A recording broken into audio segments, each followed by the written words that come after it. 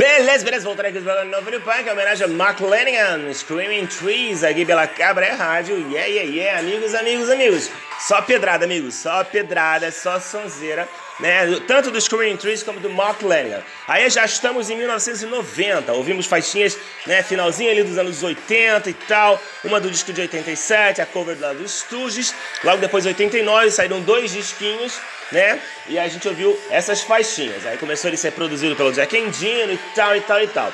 E agora o disco solo, o primeiro disquinho solo do Mark Lannigan, The Within Shit.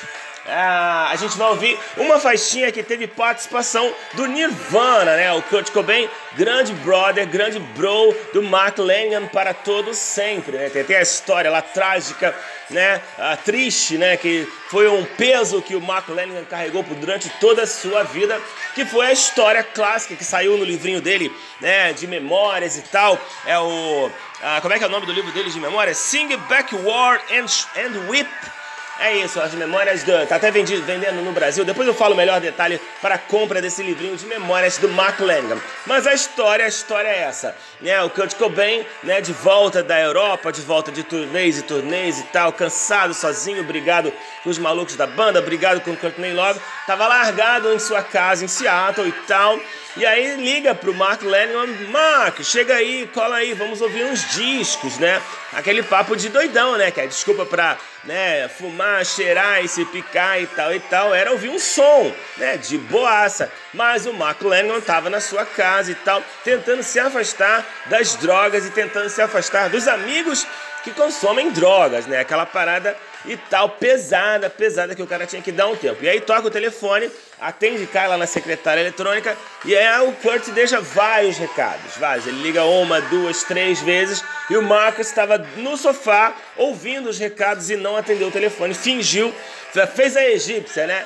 Fingiu que não estava em casa. Isso foi uma tarde inteira, um dia inteiro, o Kurt ligando para ele.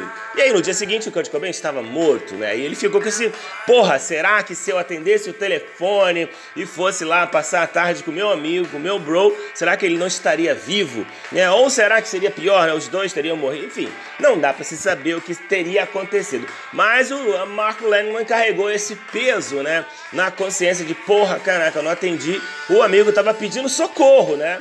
Era um socorro aquilo ali. Ele tava ligando várias vezes, tipo assim, vem pra cá alguém que, que eu vou fazer uma merda, né?